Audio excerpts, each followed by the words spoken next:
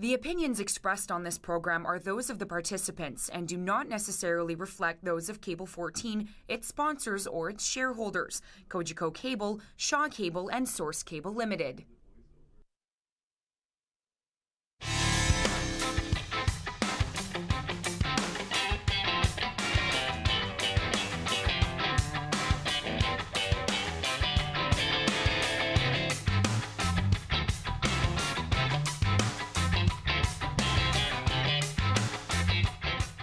Welcome to the February 21st edition of Hamilton Talks.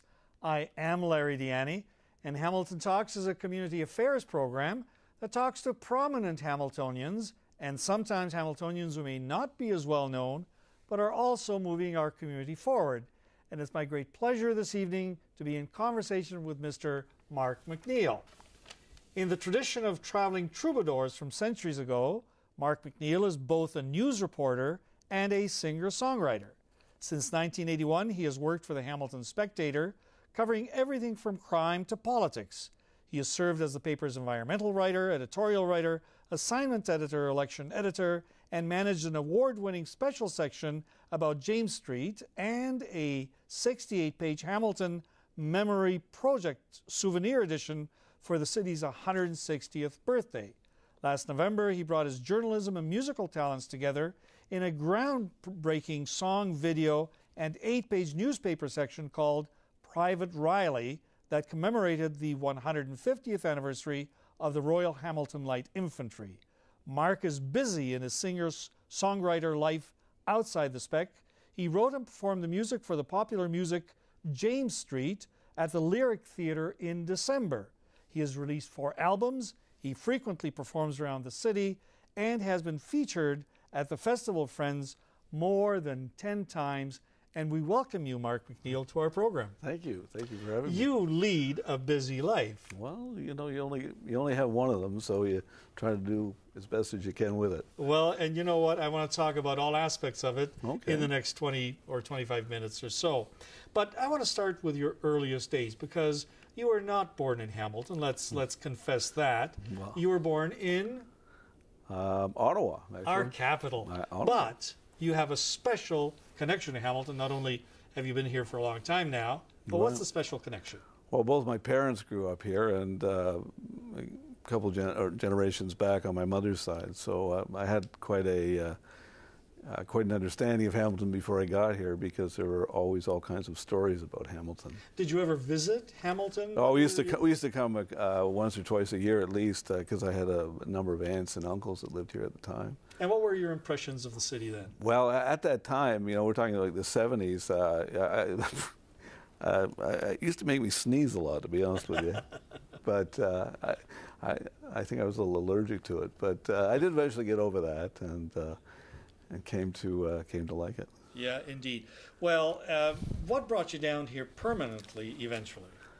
Well, I ended up, uh, well, I went to university, uh, studied journalism at Carleton, and, um, and there was a summer uh, program at the Hamilton Spectator, and they, they, came, to, uh, they came to Carleton and interviewed people, and uh, so I, ca- I came down here to work for the summer, for a summer job, and that was uh, 1981. And of course, you've stayed ever Yeah, since. that's true. Now, uh, Mark, uh, in the bio, the intro, I read that you, uh, as a reporter, have done everything from politics to crime. Some would say that's pretty well the same thing, but that's another story. What of all the assignments you've had was the most interesting? Would you say? Oh, uh, well, well, I, I particularly like working on the uh, on special sections that I've done on uh, Hamilton history. Um, I've done uh, three in the last um, in the last several years, which sort of brought me full circle because my parents used to talk about Hamilton history. So when I came to Hamilton, I, I kind of got to um, you know, learn more about it, and I would go to the streets that they talked about. And uh, and the first one I did, the Hamilton Memory Project, uh, my mother actually was a, was a great resource in uh, in in, in um, putting it together. Well, and, and history is obviously a love of yours. I Oh, mean, it comes out in your music, and we're going to hear some of that. We're going to talk about your artistic musical side in a second, uh, but also in in your reportage. In fact, one of the assignments you have currently is to talk about landmarks in the Right. city and the connection of the names uh, to uh, those landmarks. Tell us a little bit about that. Uh, it's called Namesakes, and uh, it's a uh, it's about a, a, street or a building or um, a statue or a school or a park. Uh, and, uh, and, what I do is uh, try to find out the name associated with it. So it might be you know Jackie Washington Park, um, and um, it's see what happens is, is ones that have been named more recently, pretty well everyone knows, but ones that were named a long time ago, not so much. And, uh, and, actually, I found a, a, lot of streets are named after uh, former mayors, so maybe uh, your name might end up on a ah, street someday. Knows? Di Ianni yeah. Boulevard, who knows? I, I, like the ring. I like the sound of that. listen, it's it's a it'll be a one-way street. Uh, but but listen, um, you also did something called This Day in History. Right. But I don't see that. Has that been replaced by the namesakes? Well, well yeah, more or less. But uh, see what happens after after you've done 365 of them. Um, you know, it was You've talked about it. Well, yeah, yeah we would have to uh, repeat probably. But, and, but more than one thing usually happens on any given day. Yeah, but I, I was I was always trying to find a very interesting one, you see, yeah. and uh, and I, I, thought the namesake uh, would be a nice uh, kind of twist, and it would also uh, get at uh, what we're trying to get at, which is uh, bits of Hamilton history. Yeah, indeed. And we'll talk a little bit about that, as I said. But one of the special editions that you did, right. I think you won an award for, didn't you? Win uh, yeah, it, it, won, it won a. Talk, uh, talk, about this. I don't know if if, uh, if the camera can pick this up. Yeah, that was that was called the Hamilton Memory Project, and it was. Um, for the 160th birthday of the city, it was in 2006, and uh, so I thought it'd be a neat idea to uh, reach out to the community and have them send in their little, little their stories.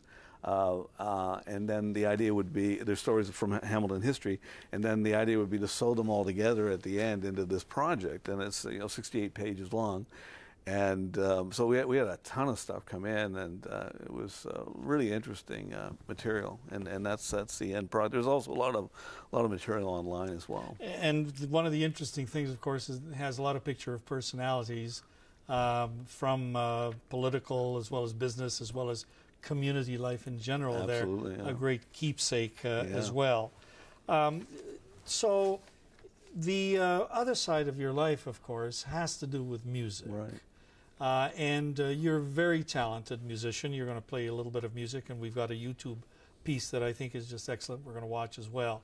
But you have taken both loves that is, the musical talent you've got, the music that you like making, and combined it with history and the history of the city. Mm. Talk about motivation for that. Well, it's, um, I, I, came to, uh, well, both the music and the journalism have, have, have, have kind of dovetailed in my life. Uh, I, I, got uh, interested in music in high school. I started teaching music in, uh, in grade 13.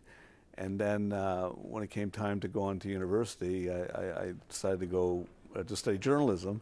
And I, uh, I taught music on the side. It was actually the way that I was able to pay my way through it, through Carleton. And um, so, so when I, when I came back here, when, when I ended up in Hamilton working for The Spectator, um, I, I, I, came to know that there's a very rich uh, music uh, community here, and I started uh, playing at different places. Started off at a place called Bay Tides. I don't know if you remember that. That was out. No. That was around uh, King and uh, Victoria area. What was it called? Uh, Bay Tides. Bay Tides. Yeah, and back in about 1982, 83 thereabouts. And then I started going to the Hamilton Folk Club, which at that time was in the Gown and Gavel. Mm-hmm. It's at the Pheasant Plucker now. Mm-hmm and um, from there, I, I, got to know people in Brantford. I started playing there. There was a, a folk club in Brantford. And then um, I got to know the people at the Festival of Friends. And I think the first time I played the Festival of Friends was uh, 1987 or 88, uh, which was a great experience. And and the thing about about music is is that uh, is it's almost like an addiction. You know, you you play a song and, and it, it, goes well for you, and you want to do it more and more, and, uh, and there's well, always you, something to learn. Well, you've taken it to a, to a, another level. I mean, for all intents and purposes, you're a professional musician uh, with a home studio. Right. What motivated you to do that? Well, that's the the other thing about it is, is it's a great time to be a musician because the uh, because of the technology. Uh, like, like, I have more uh, more power in my home studio than the Beatles had. Uh, you know, in terms of tracks, in terms of being able to do things technologically. D- digital has just uh, changed everything, and um, so, so I, I stay up very late at night, uh, you know, doing different. I, pl- I play many, uh, quite a few different instruments, so I'm able to do the different tracks, you know, bass and guitar and different stringed instruments, mandolin. I have a rudimentary knowledge of, uh, of keyboard, so I'm able to. Uh, I, I, can do the whole like the Private Riley song we'll hear later. I, I did I did pretty well the parts. So I heard you say, uh, I mean, I remember John Lennon saying that he was more popular, that the Beatles were more popular than Jesus, and you just said that you're more powerful than the Beatles. I don't know if that's. well, uh, my studio has more capability than, than the Apple studio I'm, that they used at the I'm time. Glad, I'm glad oh, you you're clear. trying to catch me. I, I did. You I know, I'm playing the reporter's trick, right? Um, well, the the musical that I came to see in December, of Right. course, James Street. Yeah. You wrote the music for that, uh, but not the uh, the script. Right. Uh, who wrote that? Um, Ron Weiss uh, from the uh, Art Word Art Bar, uh, he, he he wrote that, and it, it started actually with uh, with this. This was a section uh, that, uh, that was in the paper about James Street, and um, as I was working on it, um, on, on that section, uh, it occurred to me that, that the uh, the characters and history of James Street was uh, would make a great play. So uh, I, I went up to Ron one day and I said, Ron, you know, you should you should really think about doing a play about James Street. So he he, uh, he worked on that and uh, and, and, you know eventually he eventually finished it and came up to me one day and he said, I, I got it done. I said, that's fantastic. He says, well, I'd like you to write the music for it. I said, well, I could probably do that. And he says, well, can you have it done in two months? I said, I'm not sure. so I, I, sat down and, uh, and, and actually I got up early every morning. Uh, you know, I get up at 5:30, 6 o'clock in the morning, and I and I uh, and I put a good two or three hours in before I got to work and managed to get it done. About 12 songs. Well, and in fact, I came to see it, as I said. I came to see it twice, so you know that I really enjoyed Yeah. it. The second, the first night I came with my wife. The second night, uh, I actually brought a, an entourage of friends I- to see it. I very And- much appreciate it. Well, it, but and they thoroughly enjoyed it. And I selected friends who grew up around James Street. Right. Uh, and so the play and the story uh, said more to them because of their own experience with the city. Uh, but it talked, the premise of, of that play really was Hamilton through the centuries, right? Uh, Or Hamilton through, the, through its life uh, and some of the occurrences on James, uh, both good and, and sometimes not quite so good, as seen through the eyes of uh, a narrator and, uh, and some of the characters who inhabited the time and traveled through time. Uh, and you selected some songs which I thought were very interesting. You're going to play a song for us now. I know we're going to see Riley, which was part of the show, but was this one, um, which is uh, Education and the Blues. Was this in the show? Uh, well, I did actually play it in the show, but it, but you'll remember um, at, at the uh, beginning, uh, Ron and I came out and did a couple songs before did. the show. You did. So it was one of the ones I, I, I, I did there. Uh, um, um, him and I, he played the uh, violin with me. So it, it was it was not technically part of the show, but people who came out to see it heard the song. And and I, I knew I remembered it when you were practicing earlier. Can we hear? Can we hear some of it? Oh, sure, yeah. Um, do you want to play some of it or all of it? Or All of it. Yeah, Oh, let's okay. play all of it. All right.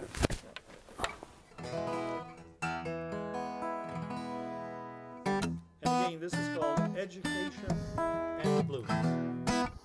in the blues. They say you need an education. Learn about science and history. Take some study about arithmetic. Learn to recite your ABCs. But I took a different kind of lesson when I fell in love with you. You gave me a course in heartache, an education in the blues. And I got a blues baccalaureate. Master's degree. The way things are going, I'll be enrolling to get my PhD.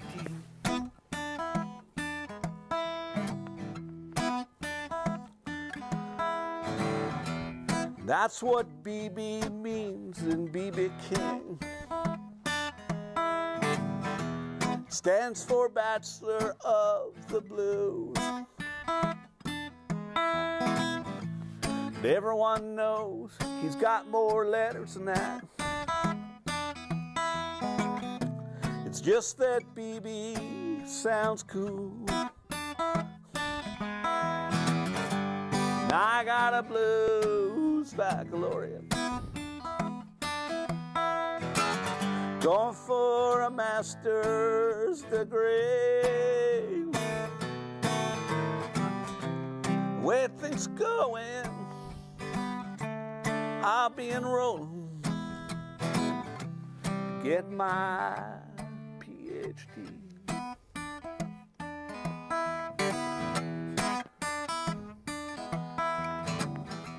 To know the blues, you need to study hard. But you won't find it in any book.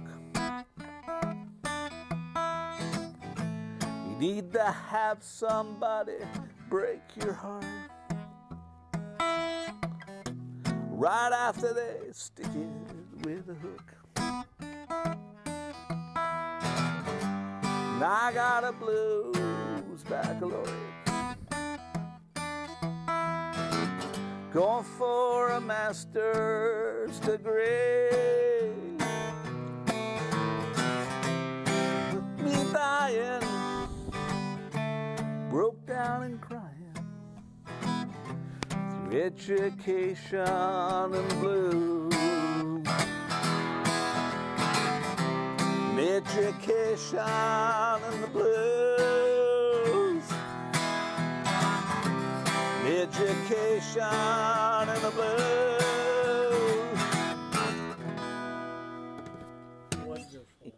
Now, how long would it take you to write a song like that, Mark? Uh, well, um, that one actually came fairly quickly. Uh, it came fairly fast. Um, I probably a couple of hours. I had most of it done, and, and what I what I tend to do is I tend to sort of uh, go over the words and change them. Um, you know, make editing changes over the next few weeks, and then I'll record it and listen to it and try to think of ways that I could make uh, certain certain lines better. So it, um, you know, over over uh, a few weeks, I'll I'll have it pretty well nailed down. But the problem, problem I have is I'm al- I'm always uh, wanting to change things, you see, and uh, that, that's uh, um, so so I, I might make small alterations years later. So, do you uh, record these as well? Um, I know you, I think you're working on a CD as as we speak. Right. Yeah, I have the uh, home studio um, where I um, where I record them one track at a time, and sometimes, sometimes I'll bring friends in to do other tracks. And uh, and and the, the way the process works is you basically build the song. So you, you know you'll lay down uh, drums and, and, and, and bass, and then add other instruments, and and um, you, and you kind of sit back from it and say, well, you know that's working or that's not working, and uh, and uh, you know sometimes you you'll be playing with it for weeks, and uh, and other times it'll come fairly quickly. Excellent. And of course, the next song we're going to hear from you, actually, we have it on YouTube, Ah. Is uh, again based on uh, a piece that you did for The Spectator, uh, commemorating uh, the 150th anniversary of uh, our famous Rileys, the Royal Hamilton Light Infantry. And it's the story of Private Riley. Tell us a little bit about the story before we hear it. Uh, the what, what happened was um, at the Spectator, I had a I I did a story about the very first casualty, the very first uh, Royal Hamilton Light Infantry uh, person to die, and he died in the uh, um, Fenian raids in uh, 1866, and uh, they they found his grave in in uh, in Burlington. And uh, so, so I, I, wrote about that, and it, got me to thinking about about him, uh, his name was uh, Private Morrison, and um, and then the about the Rileys, the RHLI more generally. So I um, did a lot of reading and, and research, and then uh, one day thought that a good way to tell their story might be in, in a song. And so I thought, well, what I do is I'll, I'll call it uh, Private Riley, and uh, in the in the fir- and it would be kind of like a Forrest Gump sort of figure, you know, where he finds himself in these historical events. And so in the first verse, he's he's in the uh, in Ridgeway f- uh, fighting the, the Fenians. In the in the uh, in the second verse, it's the First World War, and the third verse is Dieppe, and of course the the RHLI. Uh, lost 200 people in uh, in one day at the in in Dieppe, and then and then the last verse is about Kandahar, and uh, so I started playing it around a bit, and people really liked it. And one day I came to the Spectre, and I thought, well, let's make for a nice video that we could we could maybe uh, do a video uh, focusing on uh, historical photos of. Uh, um, to go along with the verses, and uh, they really loved the idea at the Spectator, and so Barry Gray and I um, worked on that because by, by, that time I had uh, I had recorded. Barry Gray, the photographer. Yeah, who does a lot of videos these days. Does mm-hmm. a wonderful work as a photographer and great work as a uh, videographer so we uh, we sat down and uh, and worked on collected all these uh, collected all these photos to, to do it and um, and then it, it, kept getting bigger. Um, we we ended up putting out this this section to go with it. It's eight pages long, and there's a whole uh, bunch of uh, material on on the web as well. And it, was it, the uh, the crowning moment, the the really moving thing for me was the day it was published. Um, uh, we, uh, I, I, got a chance to uh, perform it with the RHLI band, who are featured in the video. And it's a 37-piece band. Uh, Michael Rehill is the uh, band leader. I think you know him probably. I do know him. Yeah, very yeah. fine. Former principal and that's resident right, that's right. of Stony did, Creek as well. Exactly. He did the same same yeah. same job that you did. Yeah. And, and he anyway, we sat down together and uh, and uh, worked on a, on a, on a score, and uh, he, he of course did most of it, and it turned out it turned out really well. I was uh, I was I was amazed. Well, we we are going to let our viewers hear that. Oh. It's a marvelous song. It was also part of James Street, yes. and, it, and it'll be part of the CD that you're putting together now, exactly. and I can't wait to, to, to actually thank purchase you. it. Uh, Mark, thank you very much for appearing on Hamilton Talks. Thank you. Continued good thank luck you. with your reporting career and your musical career as well. We've been in conversation with Mark McNeil of The Spectator. We're going to hear him sing Private Riley. And I just remind you to, um, to watch next week because Mayor Ken Hewitt of Haldimand is going to be on this show. Now, Private Riley with Mark McNeil.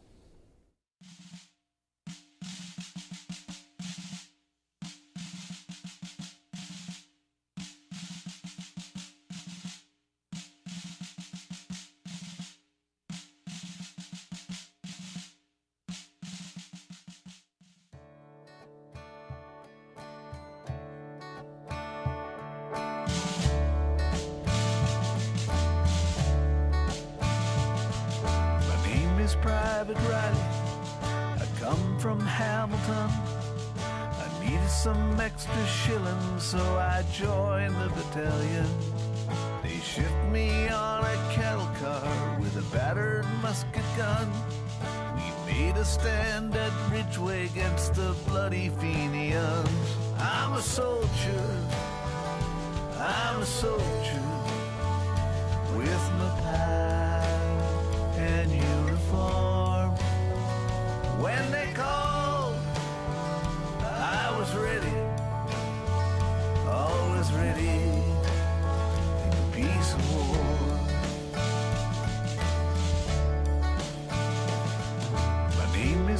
Private Riley, through Flanders and the Somme. I crawled through clouds of chlorine gas along the western front. We waited cold and shivering, the rising of the sun. Took the ridge at Vimy, had the Germans on the run. I'm a soldier,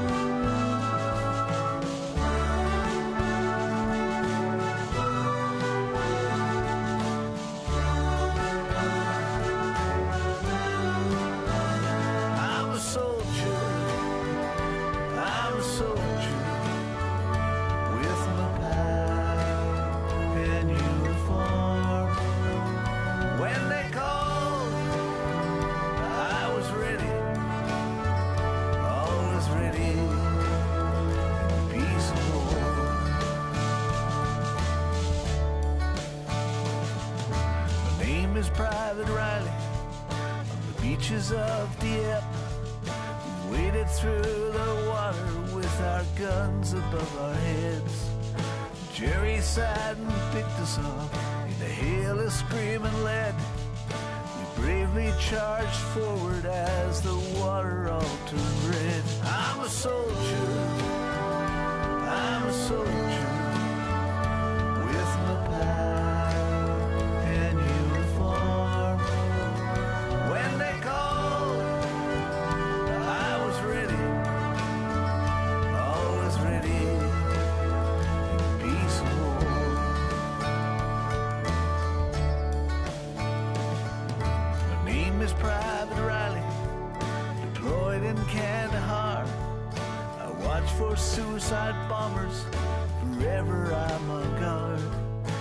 sometimes I